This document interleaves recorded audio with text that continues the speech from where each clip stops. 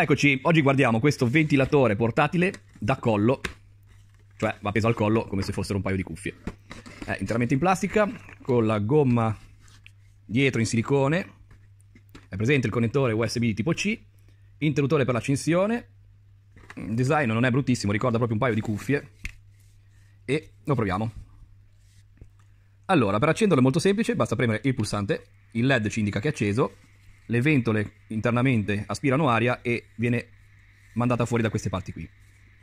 Se premiamo un'altra volta il pulsante aumenta di velocità e ancora, quindi sono tre le velocità impostabili e poi si spegne. Ok. Come vedete si indossa come un normale paio di cuffie, l'aria esce da qua e ci rinfresca tutto il viso.